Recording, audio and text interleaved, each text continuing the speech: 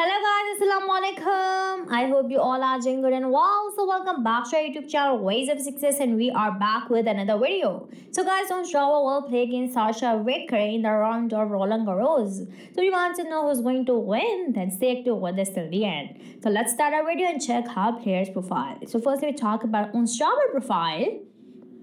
Her current ranking is number 9. She is 29 year old. So her win lose ratio is 435 by 241. She won 5 titles in her career. She won Charleston, Ningbo, Madrid, Berlin and Birmingham title. She lost played her match at Rome but lost by Sofia Kenin in the round of 64. Now to reach in the next round she has to win over Sachia Vickers. Let's go further and see her form.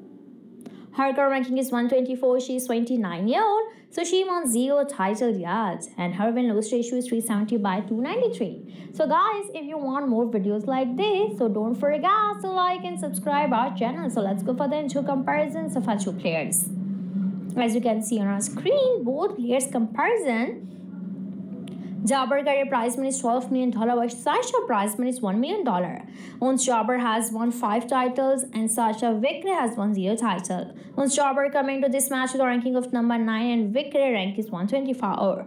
Jabeur played 15 matches in 24 and Sachia plays 6 matches. Jabeur accesses 63 and Sachia accesses 6. So further we see there has to have this will be the second meeting between them. So to have stands at 1 by 0 for Sachia Vickery. The only match at WTA 125K Chicago. But according to performance and form and momentum, Jabeur has 55% chances to win this round. Let's see what's happening in the tournament, guys. So then take your Hafiz and don't forget to like and subscribe our channel. Ways of success.